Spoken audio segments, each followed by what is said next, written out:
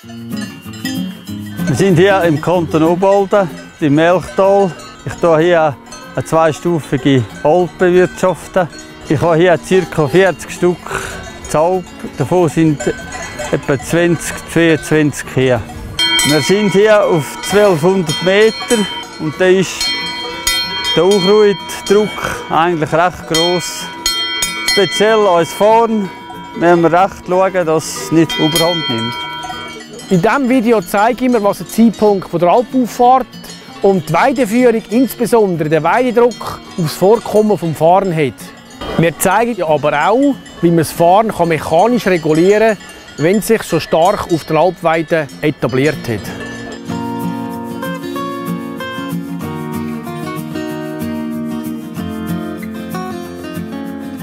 Der Fahren kann auf Alpweiden auf unterschiedlichen Standorten vorkommen. Er ist stark giftig, auch im trockenen Zustand. Wenn der Fahren so verbreitet vorkommt wie hier, ist klar, dass wir weniger Futter fürs Vieh haben. Gleichzeitig hat so eine starke Ausbreitung auch zur Folge, dass die Artenvielfalt zurückgeht. Wir sehen hier Wurmfarm. Er tut sich vor allem über Sporen, aber teilweise auch durch Wurzelausläufer vermehren. Die Aderfarm tut sich vor allem durch Kreuchtrieb, aber auch teilweise durch Sporen vermehren. Wegen der Ausbreitung durch Kreuchtrieb kommt er in grösseren zusammenhängenden Flächen vor. Eine angepasste Bewirtschaftung, damit sich das Fahren nicht ausbreiten kann, ist folgendes. Ein früher Alpauftrieb, genügend Weidedruck, koppeln mehr auf gegen runter als links, die Reihenfolge der Beweidung zwischen den Koppeln abzuwechseln. Das Fahren reagiert sensibel und heikel auf den Tritt vom Vieh im jungen Stadium. Darum ist ein früher Auftrieb mit genügend Weidedruck eigentlich die entscheidende Maßnahme, dass das Fahren sich nicht ausbreiten kann.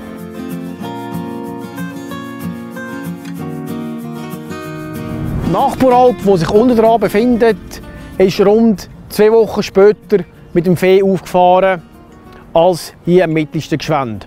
Gleichzeitig hat er die Herde in zwei Gruppen aufgeteilt und in zwei Koppeln, was zur Folge hat, dass ein geringer Weidedruck ist. Während sie die unteren Koppeln abweidet, kann hier in der oberen Koppel sich das Fahren ausbreiten.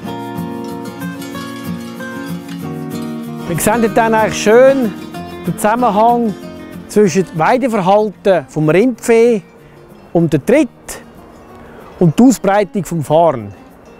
Zwischendrin, wo es kein Fahren hat, läuft das Vieh hin und her.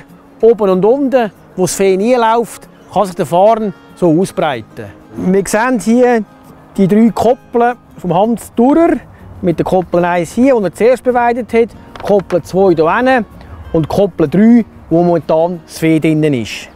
Durch das, dass die Koppeln mehr gegen oben gerichtet sind als in Breite, entstehen weniger Viehwege, sogenannte Dreien, um das Vieh durch unliebsames Fahren, das aufkommen könnte, zertrampeln. Wenn der Fahren sich so ausbreitet hätte auf dieser Alp hier, kann man die Bewirtschaftungsmaßnahmen eigentlich nicht mehr machen. Es gibt ja nur noch eins. Mähen oder den Adlerfarm ausreißen. Der Zeitpunkt, um den Adlerfarm zu mähen, ist bei einer Höhe von 30 bis 40 cm. Oder bevor die letzten Blattwedeln, wie wir hier sehen, noch nicht ganz entwickelt sind. Je nach Höhenlage, wo wir das zwei, dreimal wiederholen im Sommer und das über mehrere Jahre. Wenn der Fahrenspo gemeint wird, bringt es eigentlich nichts, weil er bereits wieder Reservestoff einlagern kann. Den Adlerfahren kann man auch durch Ausreißen regulieren. Wichtig ist dabei, dass man Händchen anlegt und langärmige Kleider, damit es keinen Kontakt zur Haut gibt, weil er bekannterweise giftig ist. Das Ausreißen gibt mehr Arbeit und man kann nicht so grosse Flächen in der gleichen Zeit machen, als man mähen.